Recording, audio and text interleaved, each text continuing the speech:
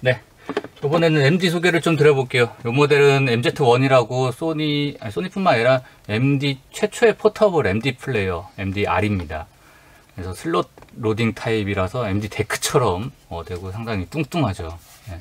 뭐 여기 앞에 백라이트 빨간색이 제가 들어왔던 기억인데 아무튼 정말 고가의 제품이었고 저는 당시 구입한 게 아니라 나중에 샀죠. 진짜 광출력도 in out 두 개가 다 있고 마이크 따로 입력되고 그래서 지금 뭐 어, 고급 마이크를 쓰시는 분들 막 이런데 저는 요걸로 녹음이라든가 그런 것들을 참 재미있게 했던 기억입니다.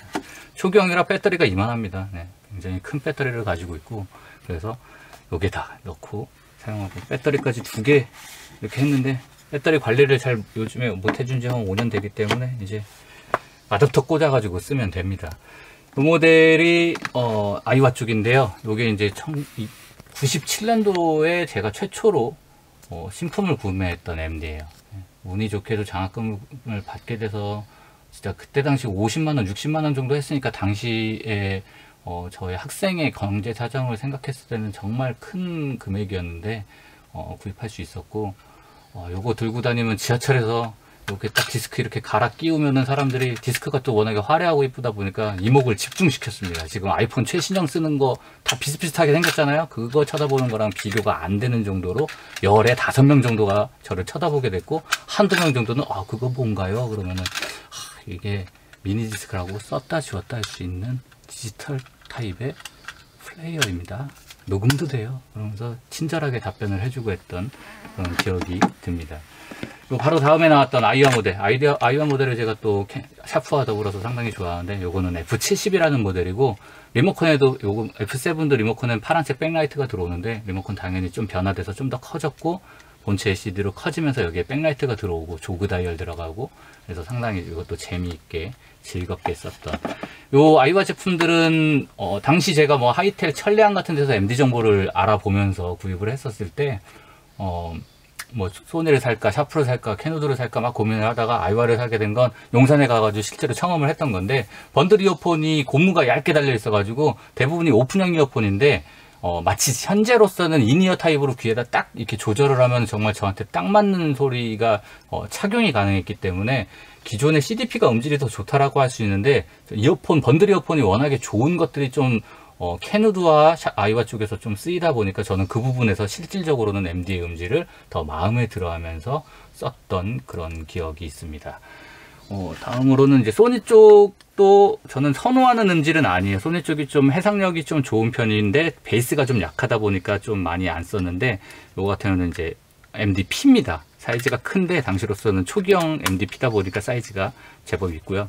요거의 R50이 제가 소니를 소니 기종 어, R40이었나, R30이었나, 그 모델이 제가 최초로 사용했던 기종이고, 요게, 어, 두 번째로 썼던 MDP고, 그 이후에 이제 R5라고 MDR인데 MDP에 가까운 수준으로 크기가 작아진 모델이라서 당시에 정말 베스트 어, 제품 중 하나였죠. 요, 요것과 이제 떡볶이 리모컨 이렇게 나와서 이거 진짜 제가 떡볶이 안 사 먹고 이 MD 사느라고 돈 진짜 진짜 먹을 거 못 먹고 산 겁니다. 부자라서 산 게 아니라는 말씀 드리고 싶었고요. 그래서 이런 거, 이런 떡볶이 리모컨도 가슴팍에다 딱 꽂고 다니면 뭔가 모를 그런 엄청난 뿌듯함 그런 것들을 좀 느꼈었고요. 또 이후에 R91, R90 이렇게 두 가지 모델이 어, 같은 클럽 모델인데 디자인만 two, two, track으로 나왔고 요건 컬러까지도 어느 정도 선택할 수 있게 나왔고 여기 이제 빨래판이라고 속칭 불렸었죠.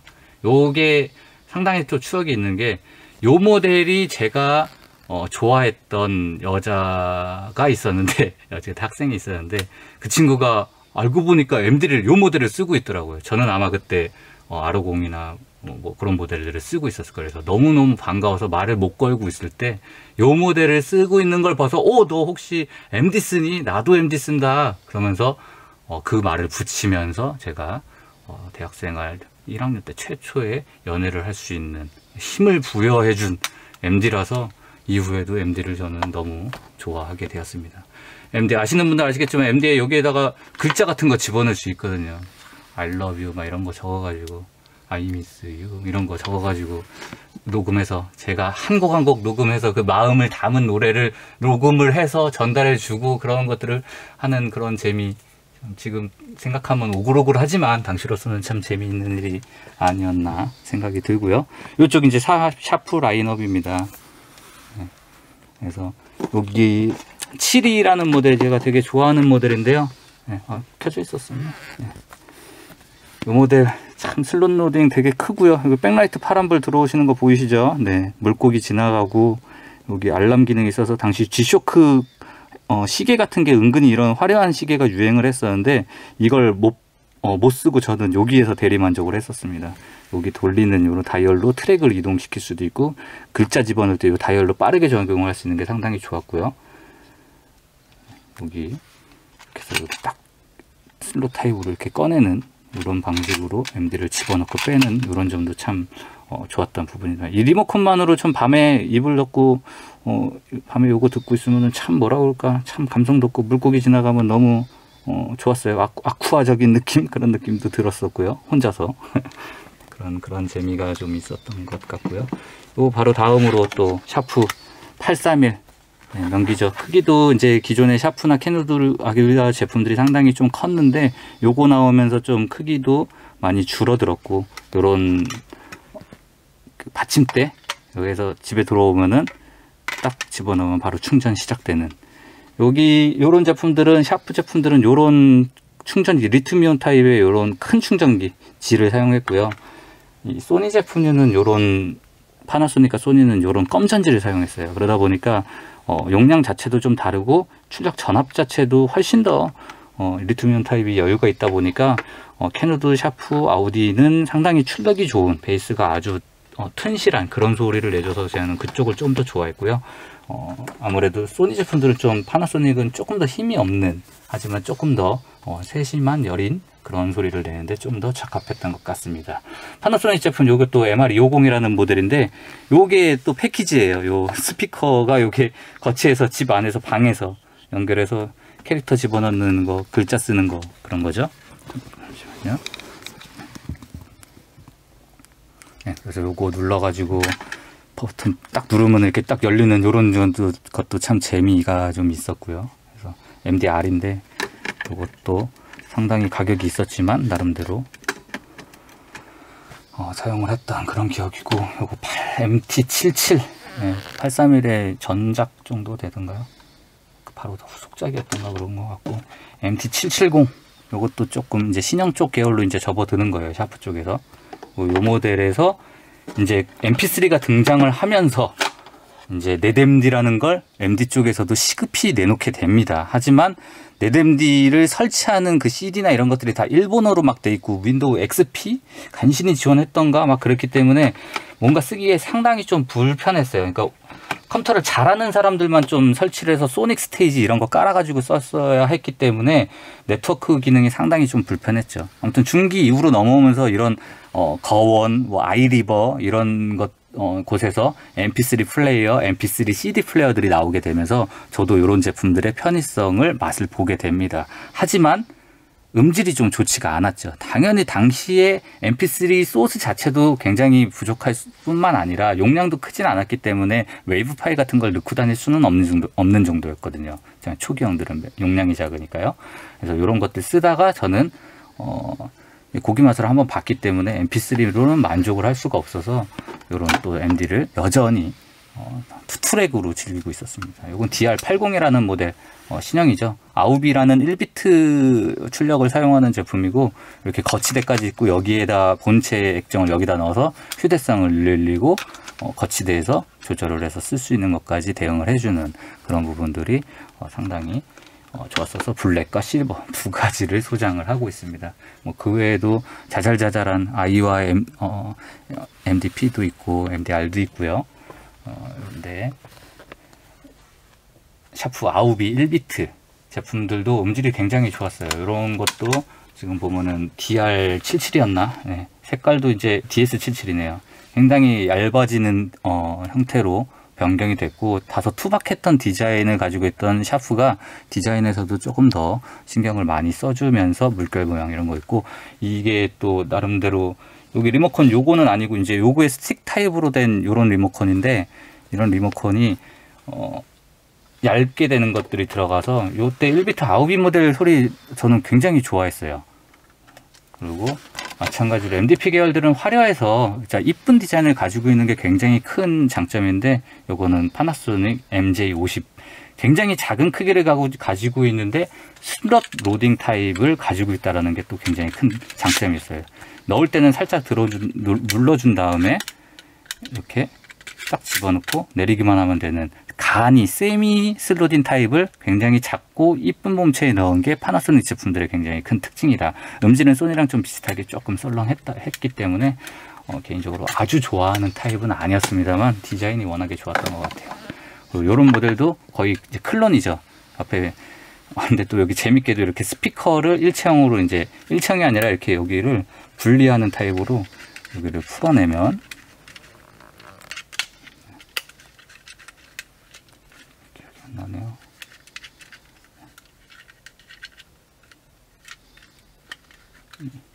이 상태로도 쓸 수가 있고 아이고 제가 아 여기 여기가 잡는 거구나.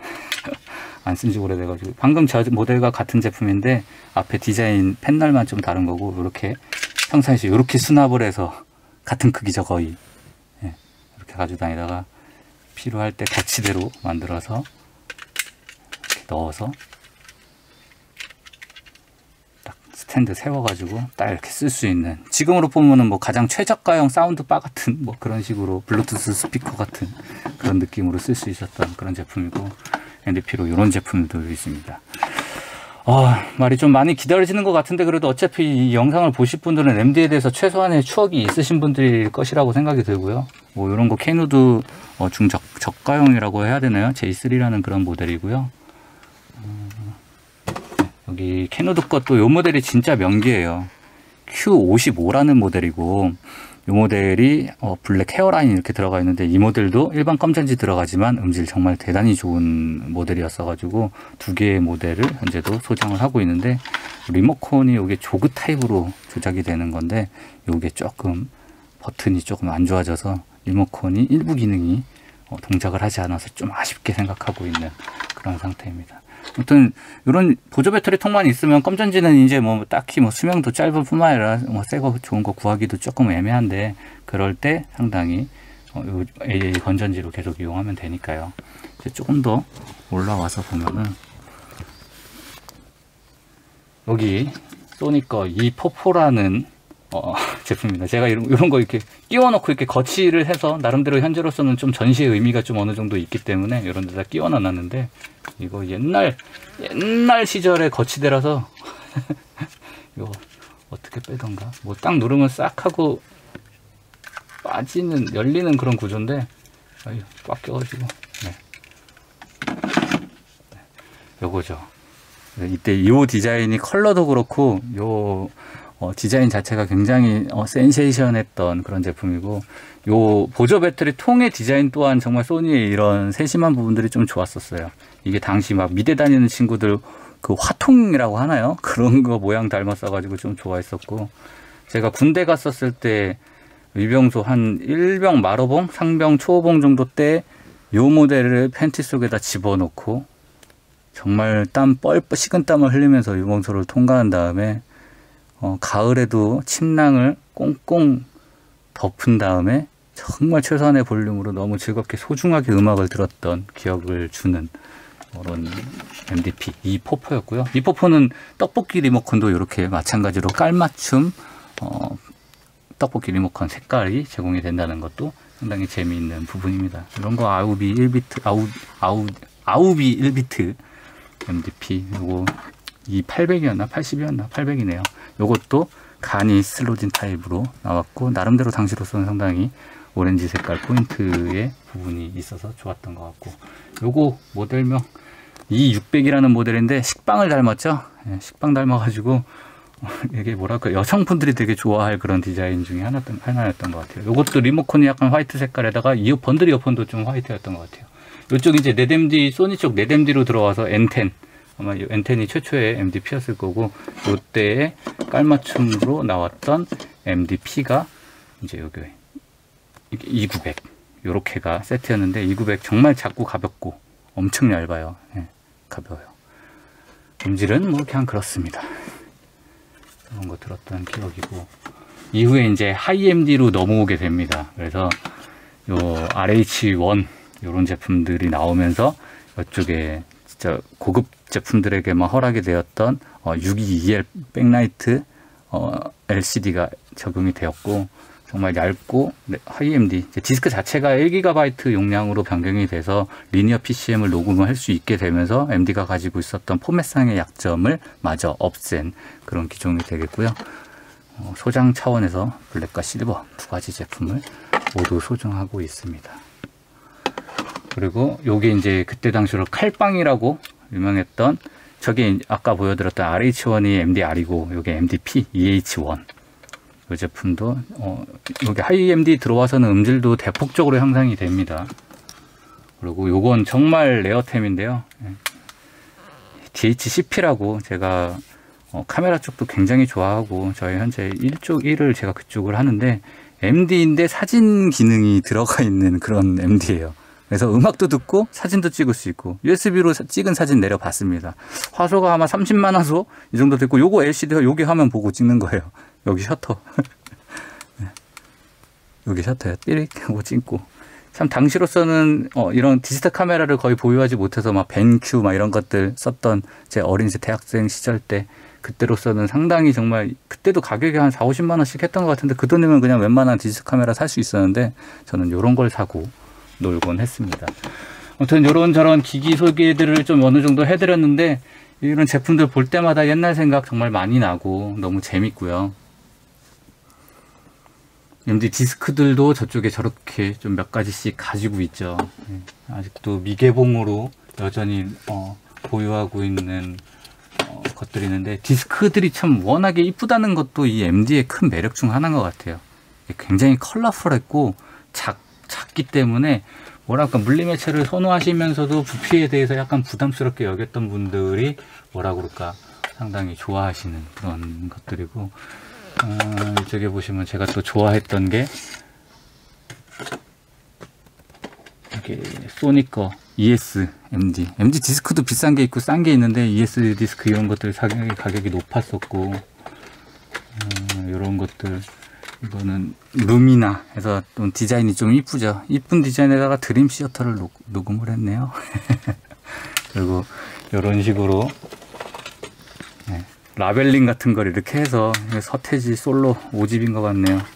제가 좋아하는 자질 주었던 앨범인데 컬러 프린터로 어, 출력을 해가지고 여기다 붙이고 앞쪽에다가 이렇게 해놓으면 앞에서도 딱 보이니까 이렇게 정성을 들여서 후면까지 이 사이즈에 맞춰가지고 어, 출력하면서 프린터를 사용하는 방법에 대해서도 좀 더 고민하게 되고 프린터 품질이나 이런 것들도 생각하게 되고 CD도 복사했던 적이 있고 막 그렇죠.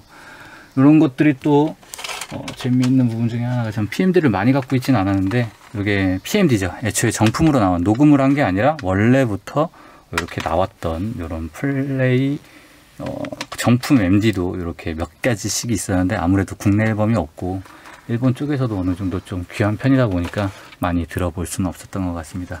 아무튼 나름대로 가지고 있었던 어, 주요 기종, 기종 들 제 옛날 생각하면서 이렇게 말씀드렸는데 아, 참 지금으로서는 소니가 망하게 했던 주범이라고 생각하시는 분들도 어느 정도 계신 것 같고 어, 당시 MP3라는 진짜 강력한 경쟁자가 등장을 하게 되면서 어, 음악 자체에다가 이제 거의 돈을 안 쓰고 그때 소리바다 이런 데서 음악 받아가지고 막 듣고 그랬잖아요. 그런 것들이 이제 없이 어, 강한 경쟁자를 만나서 결국에는 망하게 되는 어, 길로 쇠퇴의 길로 접어든 MD라는 미니디스크라는 매체가 되겠습니다만 저는 단순히 기, 어떤 기, 기술이 더 좋고 나쁘고를 떠나서 저의 어린 시절에 정말 많은 시간에 저의 경제력의 대부분을 쏟아붓게 만들었었던 이 MD와 그것과 관련되어 있는 정성 들여서 녹음했던 라디오 또 친구들의 CD를 빌려서 녹음을 해서 들었던 음악들이 여전히 저의 어, 음악적 소양에 베이스가 되어준다라는 생각이 들고 이런 제품들 또 시간이 지나서 다시금 한 번씩 지나가면서 볼 때마다 옛날 생각이 나는 것도 너무 좋고 여전히 저에게는 굉장히 즐거운 추억으로 남아있는 것 같습니다. 여러분들은 또 어떤 어, 추억들로 어떤 기기들로 또 어떤 음악들로 어, 어린 시절, 젊은 시절의 추억을 갖고 계신지 모르겠습니다만 한번 서랍에 있는 어, 워크맨이든 CDP든 MD든 MP3든 한번 꺼내어서 동작이 되는지 한번 확인해 보시는 것도 재밌을 거고 안 된다라고 하면 어, 어댑터 같은 거 한번 물려서 한번 해주시는 것도 좋고 그렇게 한번 옛, 옛 추억의 한번 lo-fi의 개념으로 한번 해보시는 것도 재미있는 일이 될 것 같습니다. 다음에 또 다른 내용으로 찾아뵙도록 하겠습니다.